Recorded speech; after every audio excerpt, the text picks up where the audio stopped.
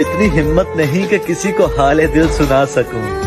बस जिसके लिए उदास हूँ, वो महसूस कर ले यार।